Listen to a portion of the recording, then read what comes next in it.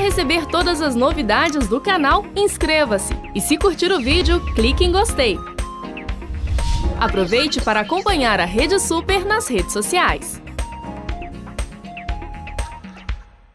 E, gente, agora é um tema muito interessante, muito importante, porque com aí um número crescente de adolescentes infratores, cresceu também a discussão sobre a maioridade penal.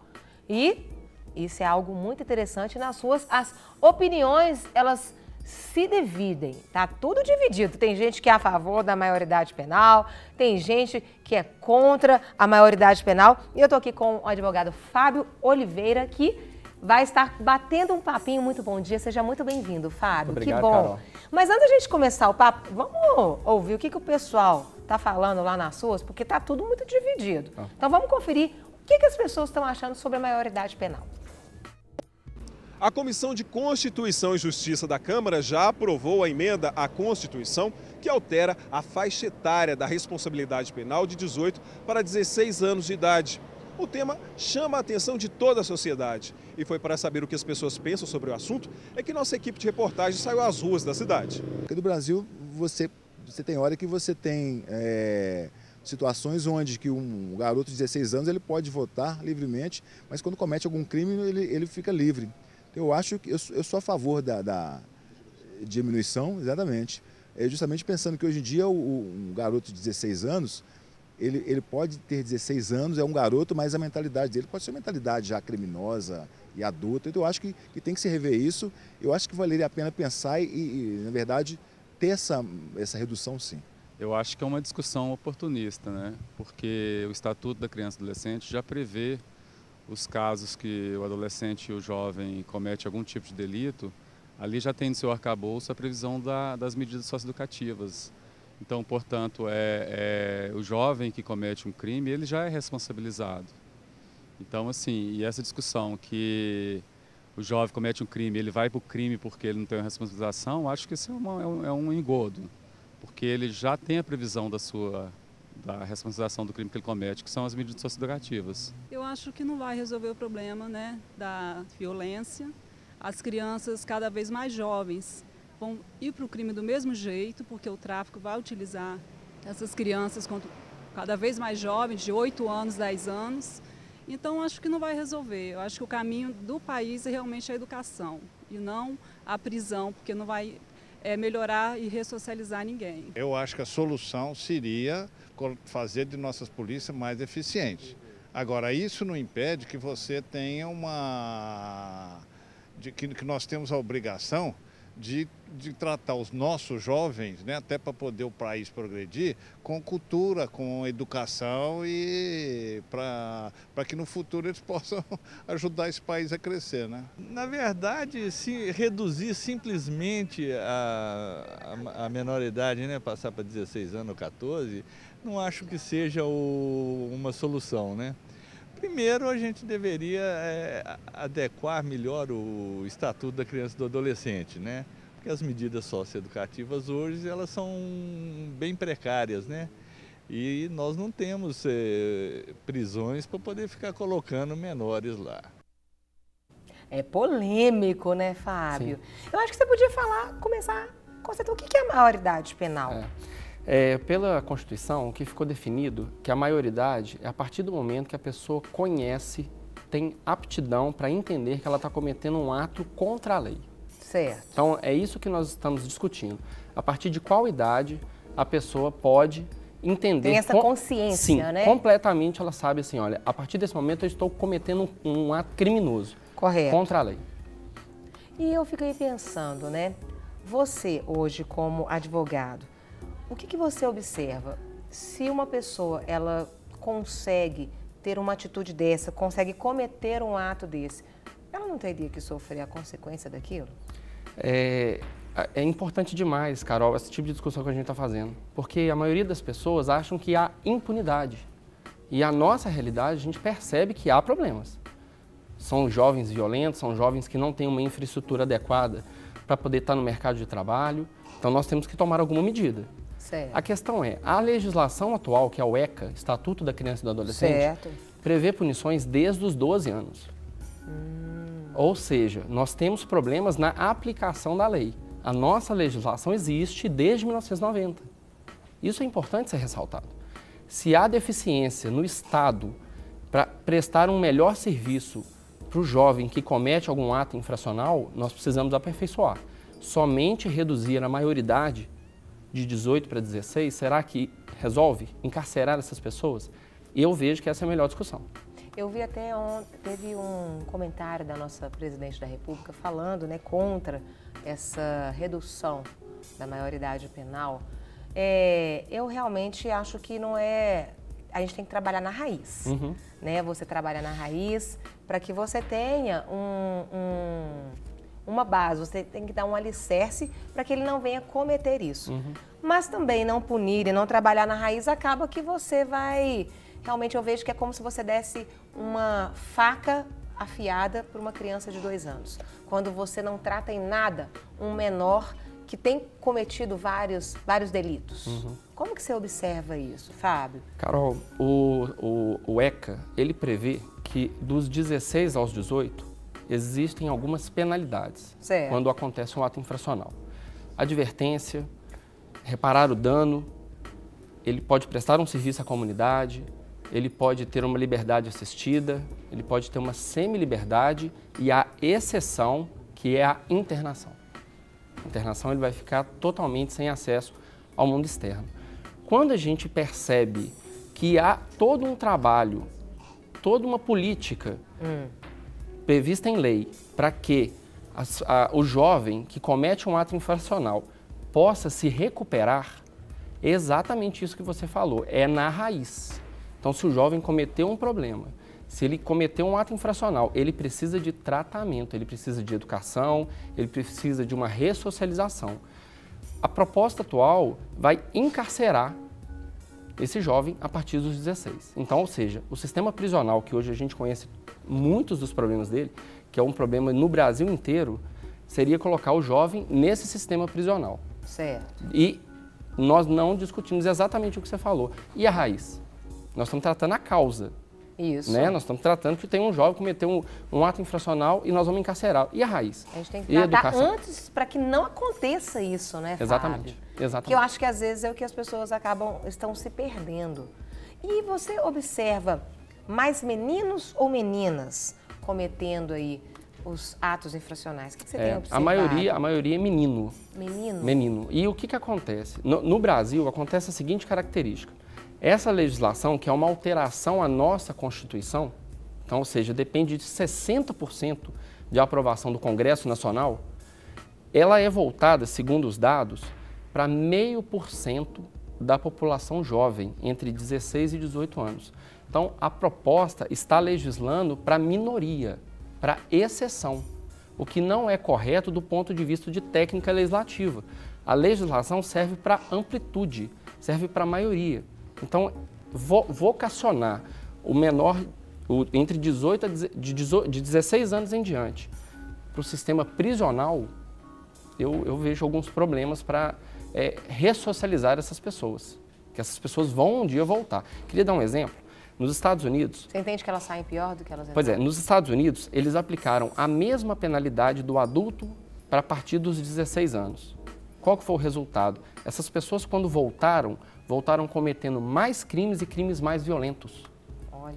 E um dado muito importante é, é do sistema prisional geral. 70% das pessoas que saem do sistema prisional são reincidentes. Pelo regime socioeducativo, que é essa previsão do Estatuto da Criança e do Adolescente, é menos de 20. Então nós temos que pensar que tá, nós vamos encarcerar e após o encarceramento, essas pessoas retornarem ao mercado de trabalho, à sociedade, ao convívio do dia a dia.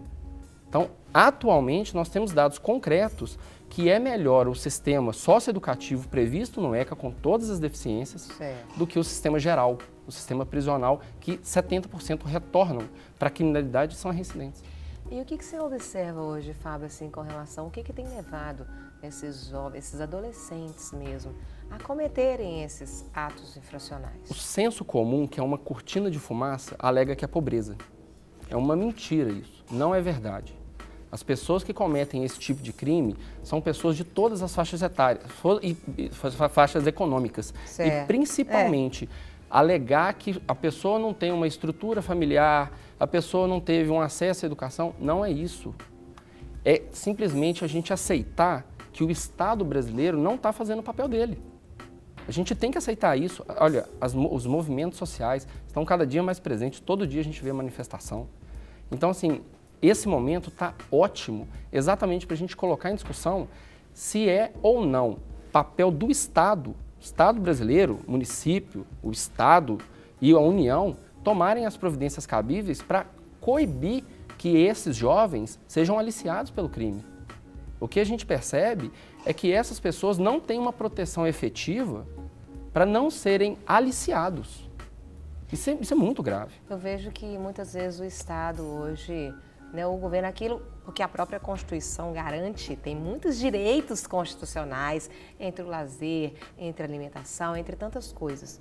E muitas vezes o Estado ele tem se colocado a par. E quem tem feito, ou até eu estava observando na Câmara, as, aqueles que são contra essa diminuição da maioridade, são, é, são pessoas que creem em princípios questões eclesiásticas, as pessoas da Igreja Católica, os cristãos evangélicos também, eles se posicionam contra essa diminuição da maioridade penal.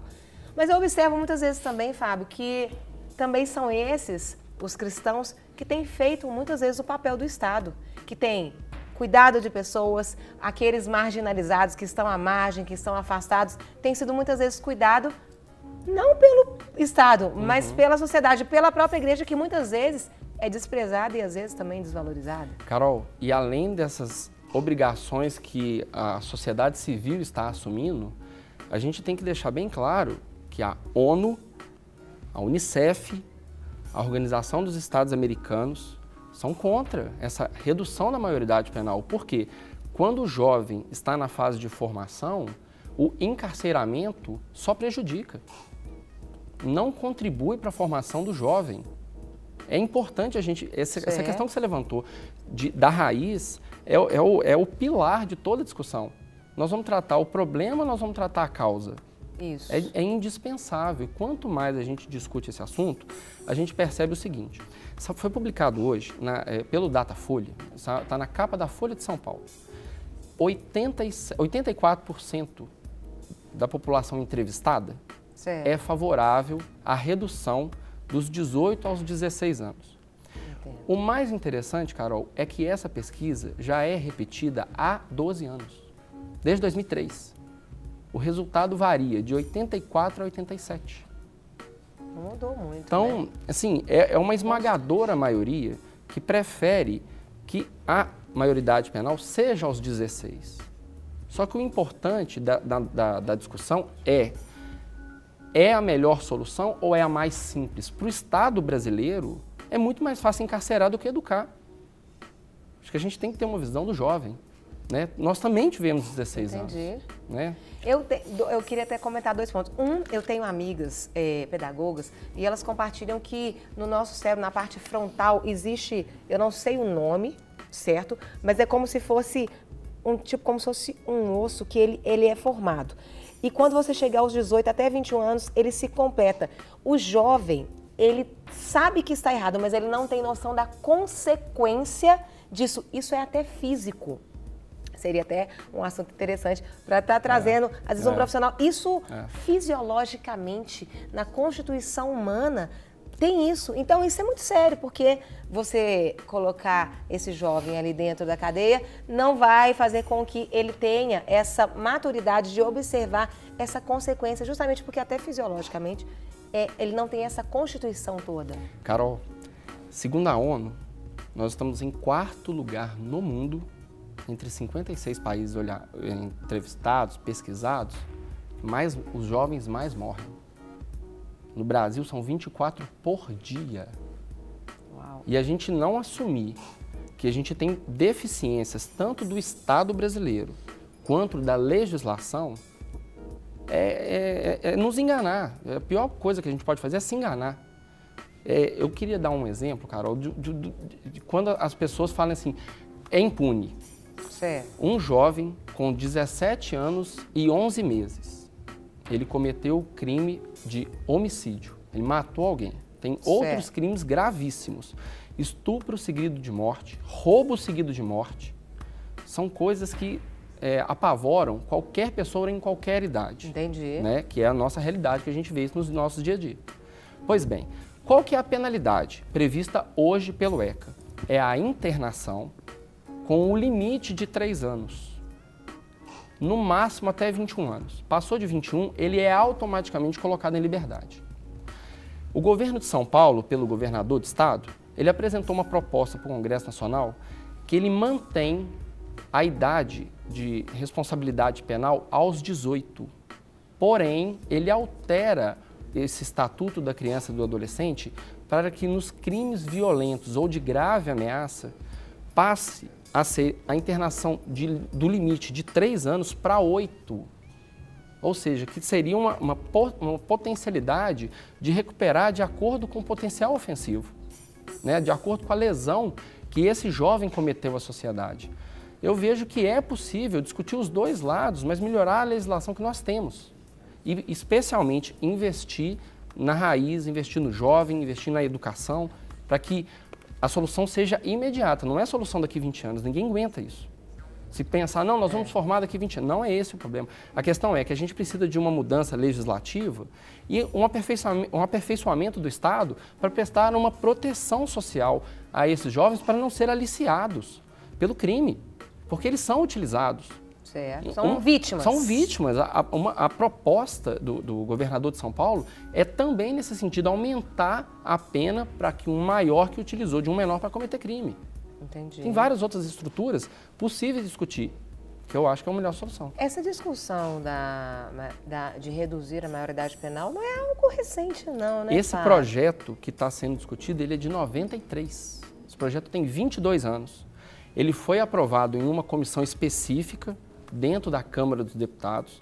Ele vai ser discutido agora, provavelmente, por até três meses, que são várias sessões, aí tem audiência pública, é, é, audiência com especialistas, toda a discussão que envolve esse projeto. Depois ele vai para o Senado, tem também outro procedimento lá, e se ele for modificado, ele tem que voltar para a Câmara. Então é uma discussão que demora e a população ainda não está bem informada. Lembrando que neste exato momento está havendo ali, eh, eles estão, a Comissão de Direitos Humanos está discutindo sobre esse assunto ali pela, na, na televisão, ali na Assembleia. Você pode estar assistindo na TV e observando. Não assiste agora não, tá? Agora você continua aqui no Estudo um pouco, mas depois, quando acabar, você pode entrar lá e ver. Discutindo justamente isso. Eu fiquei pensando, queria aproveitar uma curiosidade. Até saiu na revista Veja ah, outro dia. As pessoas criticando, não sei se você chegou a ter conhecimento sobre que ele chama tratamento de choque, que eles fazem com adolescentes, onde os pais não têm controle dos filhos, não têm controle eh, na escola, enfim, tem até canais fora do Brasil. Isso é muito usual. O que, que você acha a respeito disso? O menino está dando muito trabalho, a mãe não está dando, conseguindo controlá-lo, enfim. Manda para esse lugar, é tipo uma semana. E aí ao- ao- houve até uma certa crítica a respeito de- do tratamento de choque, mas há muitos que acabam se resolvendo. É lógico que o trabalho teria que ser lá atrás, né, na questão da educação e tudo. Mas você acha que às vezes isso seria algo para que eles observassem o tipo de consequência que eles teriam no futuro se eles não mudassem de atitude, Fábio? Carol, é uma forma de educação, não é? Você vê o exemplo do outro e vê o que, que aconteceu com quem não teve a mesma oportunidade de ver de fora, que nesse caso são os pais que levam. Os pais oferecem as crianças para levar. É interessantíssimo. A partir do momento que você educa pelo exemplo, não precisa ser o seu exemplo, o exemplo do outro, né? Já, já eu ouvi até um amigo meu falando assim, ó, é, é inteligente não é quem aprende com o próprio erro, aprende com o erro do outro. Certo. É uma forma de educação, né? A partir do momento que as pessoas têm uma oportunidade de verificar que é mais interessante investir nela própria e ela ter a dignidade por toda a vida, porque uma consequência de um ato infracional pode durar eternamente. Essa criança Certo. pode nunca mais se recuperar. E há crianças violentas. Não há dúvida. Não há dúvida. Há crianças que, infelizmente, precisam do, do Estado é, evitá-las na sociedade. A gente tem que assumir isso. Né? Às vezes precisam até de tratamento Sim, mesmo, sim, psíquico, sim, né? de remédios, enfim. Algumas questões. Isso, isso faz diferença, Faz é? toda a diferença. É isso que a gente reclama que o Estado não oferece.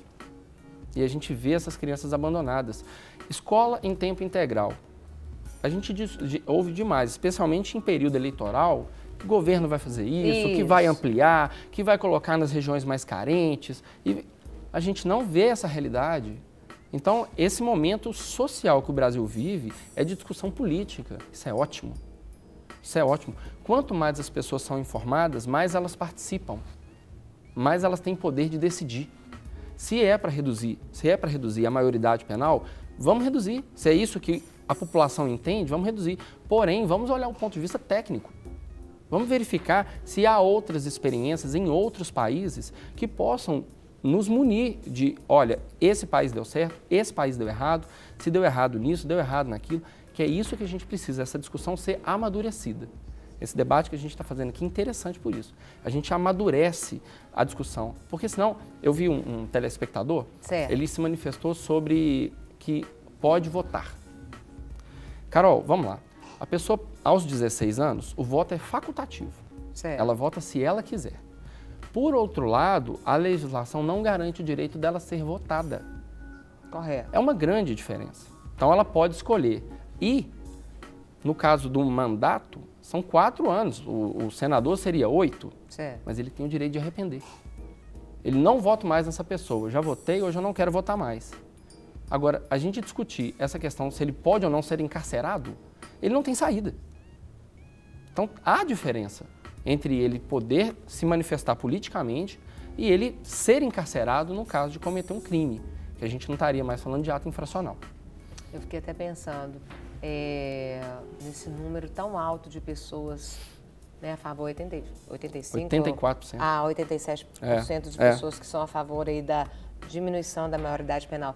E aí eu penso, né, Fábio, será que não é porque tantas pessoas hoje têm sido vítimas de situações, né? Porque às vezes tem algum telespectador que está assistindo e fala, ah, você está falando assim? Porque nunca pegou a sua É, mãe, a sua é, irmã, é, o seu é. parente.